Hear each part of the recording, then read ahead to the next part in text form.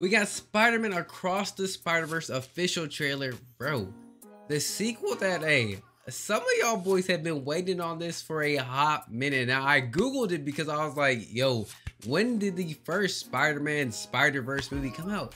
That thing came out in 2018, bruh. Jesus Christ, they had y'all waiting for five years on a sequel? Now, I say y'all because I didn't watch the first Into the Spider Verse. I did not watch that because I thought it was gonna be a flop. I think it came out on Netflix. If I'm, I could be wrong. I, I forgot where it was, but it was really accessible. I could have watched it if I wanted to, and uh, I just didn't. I didn't think it'd be any good. However, all I hear are good things about it. I to this day, five years later, obviously you niggas have been waiting for this, waiting for this sequel because it was that because the first one was that good it is what it is, man. I might have to watch the first one. I don't know. But let's see what this uh, trailer for the second one's about.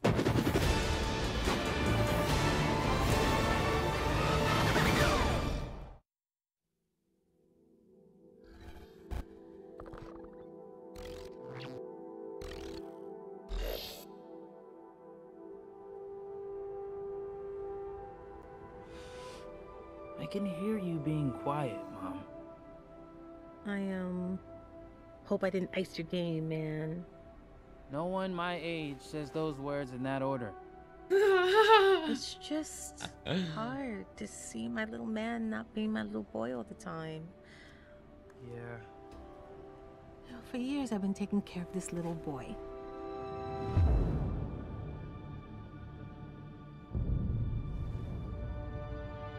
Making sure he is loved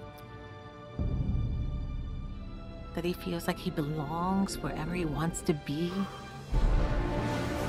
He wants to go out into the world and do great big things. Not bad, kid. And what I worry about most... I love you, Miles. ...is they won't look out for you like us. Miles! Want to get out of here? Wherever you go from here, you have to promise to take care of that little boy for me. Make sure he never forgets where he came from. And he never doubts that he is loved. That is, bro, just imagine being Spider-Man, just being able to hang upside down and chill at places, bro. That's so tough, man. And he never lets anyone tell him that he doesn't belong there.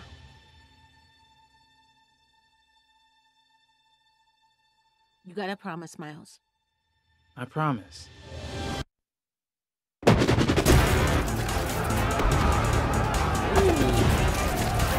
Who do you think you are? Really? We are supposed to be the good guys. We are. Hey, that 2099 Spider-Man ain't nothing to play with, bro. June 2nd, 2023 dude, I have to say, it's a good trailer. It really is. Like, I really enjoy the trailer. However, uh, I did not learn anything about the game, man. Like, I didn't learn one single, or not game. That's the game. I didn't learn anything about the movie, dude. It was just Miles talking to his mama, which is cool, I guess. Telling her, make, or she was telling him, make sure you fit in. Like, that's cool. If he was going to, like, the first day of high school, dog, I guess. But we're talking about multiple universes with multiple Spider-Mans. Mama, like, I don't really know how he's supposed to fit in.